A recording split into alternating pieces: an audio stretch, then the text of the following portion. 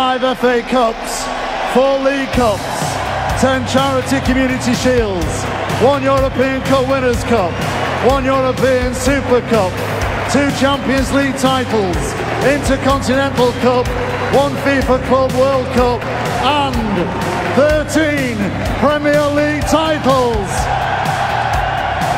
The impossible dream made possible by the greatest British manager ever, Ferguson.